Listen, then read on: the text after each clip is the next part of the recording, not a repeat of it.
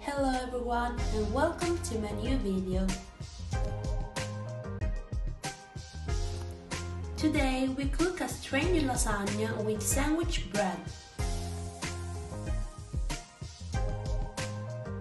I took a bowl and I made a batter with egg, milk and salt. So I started mixing. I took the sandwich bread and soaked it in the butter and put it in an over tray. On the sandwich bread, I added the ham and provola, and I did the same procedure for other three times. I finished with the last slice of sandwich bread and I grated the parmesan and I added salt, pepper and a breeze of oil. I put it in the oven for 25 minutes at 118 degrees. In the meantime, I decorated the dish with a bit of parsley and I took off the lasagna from the oven. I let it cold for 5 minutes and I cut a piece of it.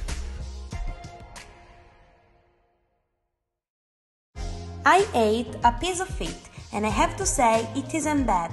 Maybe all Italian will hate me because it isn't a really lasagna, but how would you call it?